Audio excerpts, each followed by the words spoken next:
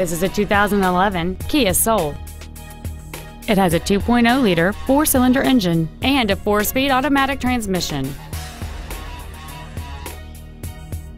Features include commercial-free satellite radio, air conditioning, cruise control, front side impact airbags, a split folding rear seat, a rear window defroster, a traction control system, four-wheel disc brakes with an anti-lock braking system, keyless entry, and this vehicle has fewer than 44,000 miles on the odometer.